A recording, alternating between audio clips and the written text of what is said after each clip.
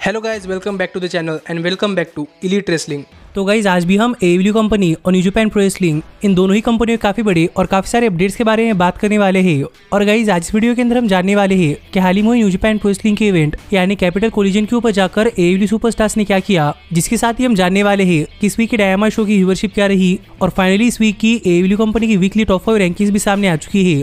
तो गाइज़ ये सब बातें जानने के लिए ये वीडियो एकदम आखिर तक देखना। और ऐसे ही एवल्यू कंपनी से रिलेटेड हर एक न्यूज़ रूमर और अपडेट और एवल्यू कंपनी के हर एक शो का रिव्यू पाने के लिए हमारे चैनल को सब्सक्राइब करना मत भूलना। पर गाइज़ अब ज़्यादा देर न लगाते हुए चलिए वीडियो शुरू करते हैं। और सबसे पहले बात करते हैं इस वीक के डायमा शो की व्यूअरशिप की। और जानते हैं कि इस वीक के डायमा शो की व्यूअरशिप क्या रही? तो गाइज़ अगर आपने हमारे चैनल के ऊपर इस वीक के डायमा शो का रिव्यू वीडियो देखा है तो आपको पता होगा कि हमें इस वीक के डायमा शो के ऊपर काफ़ी सारी वियर्ड और काफ़ी सारी डिफरेंट चीज़ें देखने को मिली थी। जैसे कि सीएम पंक का पूरी तरीके से हील सुपरस्टार की तरह एक्ट करना और एमजेफ का एक फेस सुपरस्टार की तरह एक्ट करना, जिसके साथ ही हमें इस शो के मेन इवेंट के अंदर डार्बी एलन और जेफ हार्डी इनके बीच में एक बहुत ही बढ़िया मैच देखने को मिला था।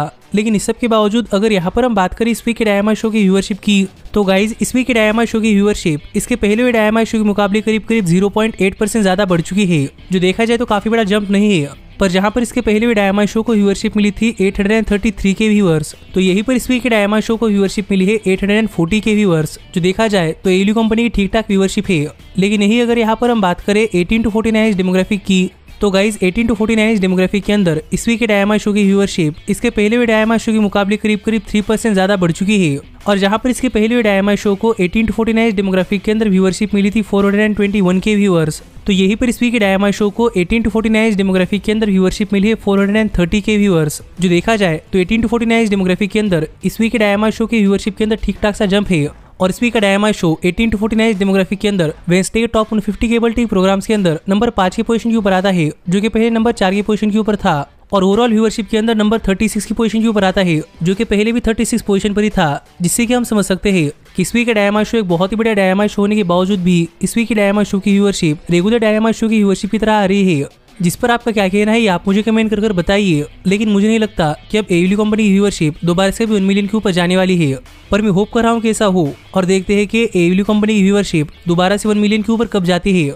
लेकिन गाइज़ अब हम आगे बढ़ते हैं और बात करते हैं हमारे अगली अपडेट की और जानते हैं कि इस हफ़्ते के एवली कंपनी की वीकली टॉप फाइव रैंकिंग्स क्या है। तो गाइज़ आपको तो पता ही होगा कि एवल्यू कंपनी अंदर विंस और लॉसेस मैटर करते हैं, क्योंकि किसी भी सुपरस्टार के विन लॉस रिकॉर्ड के ऊपर ही आगे चलकर उस सुपरस्टार को अपनी डिवीज़न की चैंपियनशिप के लिए चैलेंज करने का मौका मिलता है। और यही अगर यहाँ पर हम शुरुआत करें एवल्यू कंपनी के विमेंस डिवीज़न से तो गाइज़ एवल्यू कंपनी की विमेंस डिवीज़न के टॉप फाइव रैंकिंग्स के अंदर नंबर पाँच पर आते हैं रेड वेलवेट नंबर चार पर आते हैं जिमी हिटर नंबर तीन पर आते हैं एनाजे नंबर दो पर आते हैं नायला रोज और नंबर एक पर आते हैं सेरेना डेप और स्टिल हमारी TBS women champion Jade Cargill और एवल्यू women's world heavyweight champion Thunder Rosa पर यही अगर यहाँ पर हम बात करें एवल्यू कंपनी के टेक टीम डिवीज़न के टॉप फाइव रैंकिंग्स की तो गाइज़ एवल्यू कंपनी के टेक टीम डिवीज़न के टॉप फाइव रैंकिंग्स के अंदर नंबर पाँच पर आते हैं ब्रांड डेंसन और जॉन मोस्ली नंबर चार पर आते हैं जॉन सिल्वर और एलेक्स रनल्स नंबर तीन पर आते हैं गन क्लब नंबर दो पर आते हैं ऑफ़ सॉफ्ट और रिकी स्टार्स और नंबर एक पर आते हैं एफ़ और स्टिल है हमारे एवल्यू कंपनी के world tag team champions Jurassic Express यानी कि जंगल बॉय और लूचासोरस पर यही अगर यहाँ पर हम बात करें एवल्यू कंपनी के सिंगल्स मेल डिवीज़न के टॉप फाइव रैंकिंग्स की तो गाइज़ एवल्यू कंपनी के सिंगल्स मेल डिवीज़न के टॉप फाइव रैंकिंग्स के अंदर नंबर पाँच पर आते हैं एडम कोल नंबर चार पर आते हैं जे लिथल नंबर तीन पर आते हैं जॉन मॉक्सली नंबर दो पर आते हैं फ्रेंकी कजेरियन और नंबर एक पर आते हैं सीएम पंक और स्टिल है हमारे टी चैंपियन स्कॉर्पियो स्काई और एवल्यू world heavyweight champion Hangman Adam Page और यही है इस वीक की एवल्यू कंपनी की वीकली टॉप फाइव रैंकिंग्स जिस टॉप फाइव रैंकिंग्स के ऊपर आपका क्या कहना है आप मुझे कमेंट कर बताइए। पर गाइज़ अब हम आगे बढ़ते हैं और बात करते हैं हमारे अगले अपडेट की। और जानते हैं कि हाल ही में हुई न्यू जापान शो यानी कैपिटल कोलिजन के ऊपर क्या हुआ और उस शो के ऊपर जाकर एवल्यू कंपनी के सुपरस्टार्स ने क्या किया। तो गाइज़ अगर आप काफ़ी दिनों से एवल्यू कंपनी को फॉलो कर रहे हैं तो आपको पता होगा कि एवल्यू कंपनी और न्यू जापान प्रोएसलिंग ये दोनों ही कंपनियाँ साथ मिलकर काम करती है। इसीलिए हमें एवल्यू कंपनी और न्यू जापान इनके कई सारे सुपरस्टार एक दूसरे के शो के ऊपर जाते हुए दिखाई देते हैं। और इसी हाल ही में न्यू जापान का एक शो हुआ था, जो कि कैपिटल कोलिजन और इस शो के लिए हमें एवल्यू कंपनी के कई सारे सुपरस्टार्स इस शो के ऊपर जाकर रेसल करते हुए दिखाई दिए हैं। जैसे कि जॉन मॉक्सली, एडी किंगस्टन और ब्रॉडी किंग।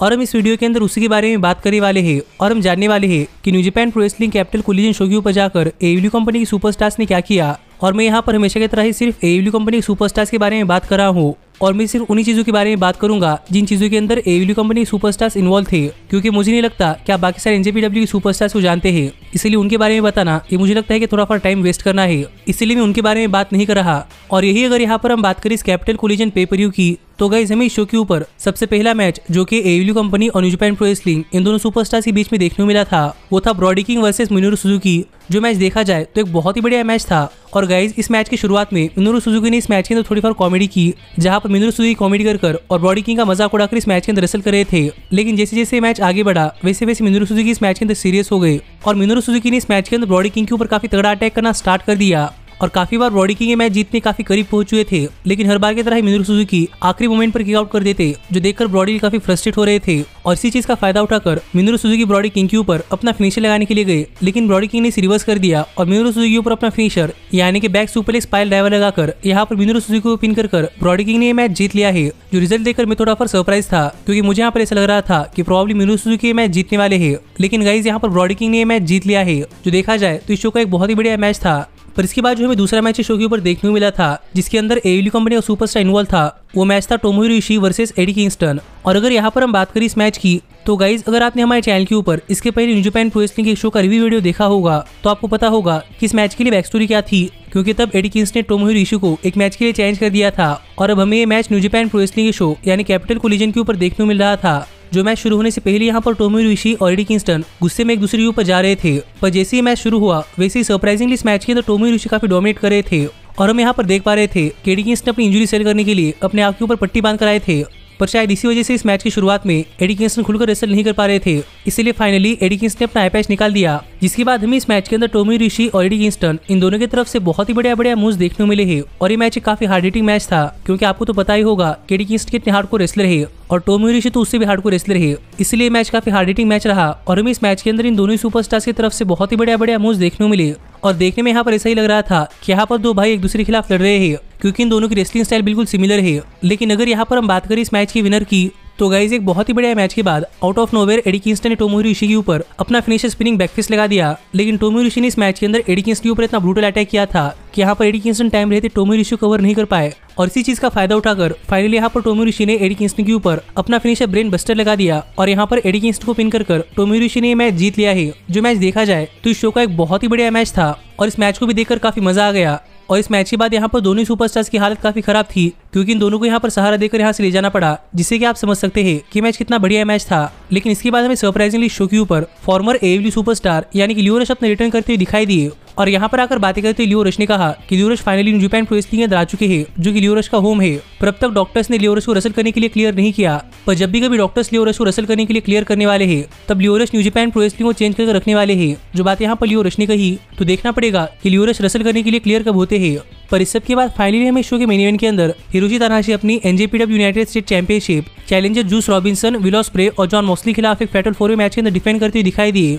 और अगर यहाँ पर हम बात करें इस मैच की तो गाइस जैसे ही मैच शुरू हुआ, वैसे इस मैच की शुरुआत में विलोस प्रे ने जॉन मॉस्ली के ऊपर अटैक करना स्टार्ट कर दिया। क्योंकि अगर आपने हमारे चैनल के ऊपर लास्ट एनजेपीडब्ल्यू के शो का रिव्यू वीडियो देखा है तो आपको पता होगा कि वहाँ पर विलोस प्रे और जॉन मॉस्ली के बीच में क्या हुआ था। और इसलिए यहाँ पर मैच शुरू होती विलोस प्रे जॉन मॉस्ली के ऊपर अटैक कर रहे थे। और हिरोशी तनाशी जूस रॉबिन्सन के ऊपर। और एक टाइम के लिए हिरोशी तनाशी ने जूस रॉबिन्सन को साइड में लगा दिया और जॉन मॉस्ली ने विलोस्प्री को साइड में लगा दिया। जिसके बाद हमें इस मैच के अंदर जॉन मोस्ली और हिरोशी तनाशी ये दोनों एक दूसरे के आमने सामने आते हुए दिखाई दिए, जो कि कई सारे फैंस का ड्रीम मैच था। और जॉन मोस्ली भी कई दिनों से कह रहे थे कि जॉन मोस्ली को हिरोशी तनाशी के खिलाफ एक मैच चाहिए। और इस मैच के अंदर जॉन मोस्ली और हिरोशी तनाशी फाइनली एक दूसरे के आमने सामने आ गए। इसलिए यहाँ पर इन दोनों ही सुपरस्टार को देखने के लिए मज़ा आ रहा था। पर इसके बाद ये मैच एक बहुत ही बढ़िया मैच चला। और अगर आप जरा सा भी न्यू प्रो रेसलिंग को फॉलो करते हैं तो आपको पता होगा कि न्यू जापान प्रो मैचेस कितने बढ़िया मैच होते हैं। और ये मैच भी बिल्कुल वैसा ही मैच था और ये मैच एक फैटल फोर वे मैच था, इसीलिए इस मैच में डिस्कालिफिकेशन नहीं था, जिस वजह से इस मैच के अंदर जूस रॉबिन्सन काफ़ी सारे वेपन्स का इस्तेमाल कर जॉन मोस्टली विलोस्प्रे और तनाशी के ऊपर अटैक कर रहे थे।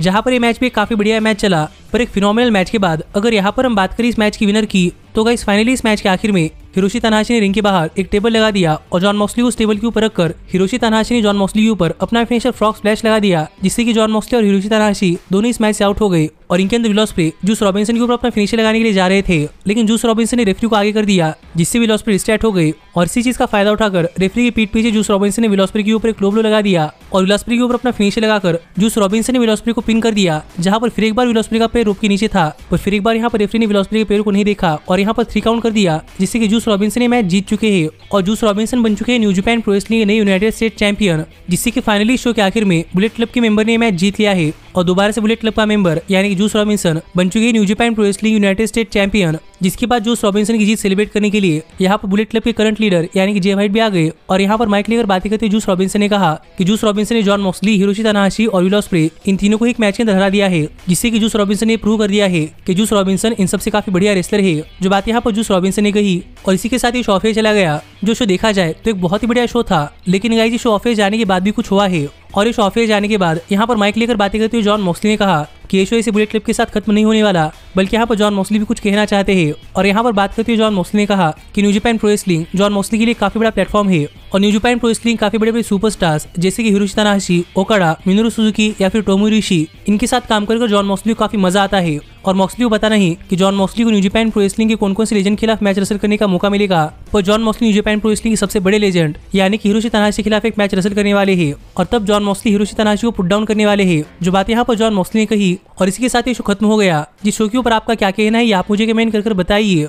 और यही सब चीज़ें थी जो इस साल की New Japan Pro Capital Collision show के ऊपर हुई जो शो मुझे तो बहुत पसंद आया है। पर अब देखते हैं कि एवील्यू कंपनी और न्यू जापान प्रो रेसलिंग इनके जॉइंट पेपर यू यानी कि फॉरवर्ड डोर पेपर के ऊपर एवील्यू कंपनी और न्यू जापान प्रो रेसलिंग ये दोनों ही मिलकर कितने बढ़िया मैचेस कर पाते हैं। पर गाइज़ जैसे ही एवील्यू कंपनी से रिलेटेड हर एक न्यूज़ रूमर और अपडेट और एवील्यू कंपनी के हर एक शो का रिव्यू पाने के लिए हमारे चैनल को सब्सक्राइब करना मत भूलना। पर मैं मिलता हूँ आपसे अगली वीडियो के अंदर। पर तब तक stay healthy stay happy and keep watching elite wrestling Hey, did you like that video? Click the screen for more. And where do you think you're going? Check out our official merchandise page and to support the entire cast. And thanks so much for being the elite. The elite, the the elite. What, Nick, you're not going to sing it all with me this time?